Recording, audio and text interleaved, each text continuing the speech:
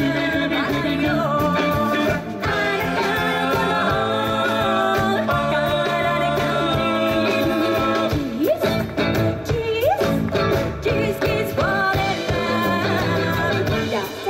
second love.